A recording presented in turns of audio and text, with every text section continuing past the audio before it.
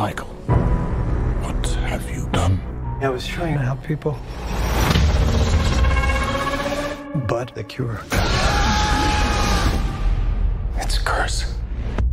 Michael.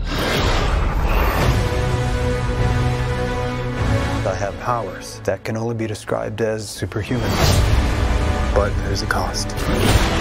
Now, I face a choice to hunt and consume blood. Or die. We all have monsters within us.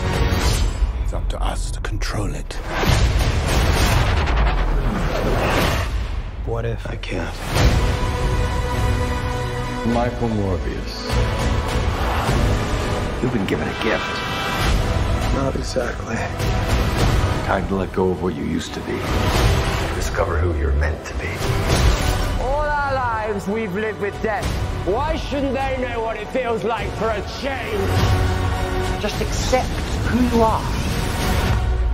The bad guy. Morbius.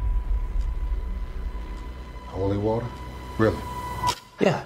You ever see Lost Boys? Story of my life.